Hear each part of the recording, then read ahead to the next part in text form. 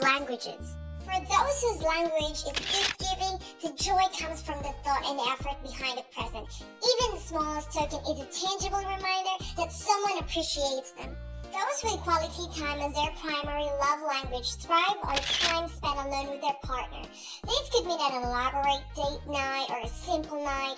The main thing is that it's time spent truly in each other's company.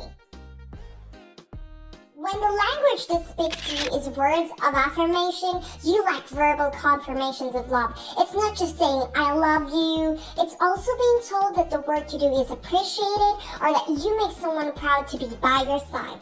Do you feel loved when someone cooks your dinner after a long day, particularly when it's unasked? Well, if that's the case, you may well have acts of service as your primary love language.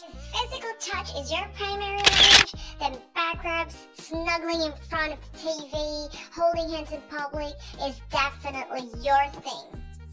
What about you, mate? What's your love language? Let me know and comment below.